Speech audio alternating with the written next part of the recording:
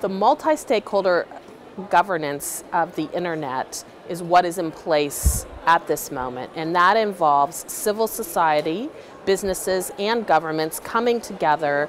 to make sure that the internet stays open and stays vibrant, and that's what the United States wants to continue.